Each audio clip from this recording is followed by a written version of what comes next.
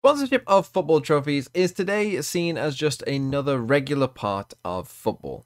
Whether it's the Sky Bet EFL, the Emirates FA Cup, or the Carabao Cup, the corporate overlords have clearly decided that it is a worthwhile venture to sponsor not just a team, but the actual competition itself. This idea, in English football at least, goes back to the 1970s at the very earliest, with competitions like the Texaco Cup, which was a competition between British and Irish teams which hadn't qualified for Europe. However, the first major competition to be sponsored in England happened in the early 1980s, when in 1982, the League Cup, or Carabao Cup today, became the Milk Cup. Now, I know what you're thinking, because I thought it too. Who is Milk? What company is milk. What does milk sell? Is it milk as in actual milk, like cow's milk that you would drink?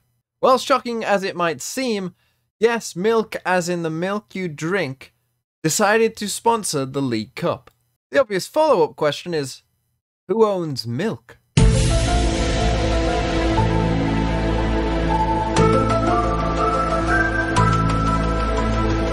Well, the sponsorship was made by the Milk Marketing Board, which was created after the implementation of the Agricultural Marketing Act in the 1930s to promote agricultural products.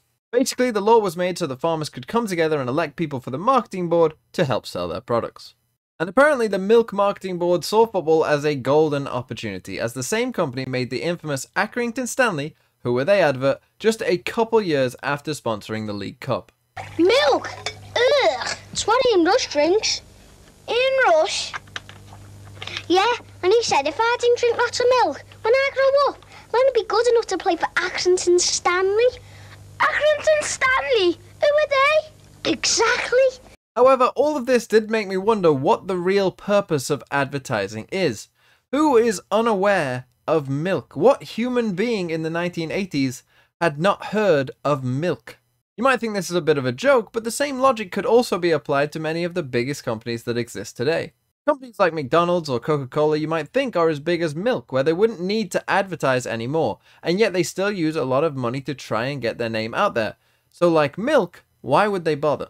Well, I'm by no means a marketing expert, but as far as I can tell, it has to do with keeping your product in the forefront of people's minds. So, for instance, whenever they think about getting something to eat, sure, they know of McDonald's, but they might just think, oh, I'll get a McDonald's without even knowing why that is their choice. But the reason could be that it was at the front of their minds because they saw an advert. So Milk went on to sponsor the League Cup throughout the early and mid 80s, creating perhaps the strangest sponsored cup name of all time. And that is just a little bit of football history. Thanks for watching.